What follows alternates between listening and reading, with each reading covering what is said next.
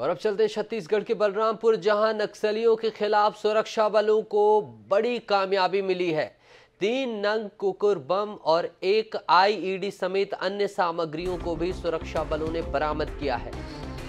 बरामद आईईडी को डिफ्यूज कर दिया गया है। छत्तीसगढ़, झारखंड की सीमा पर ये स्थित जोंग पानी का मामला है।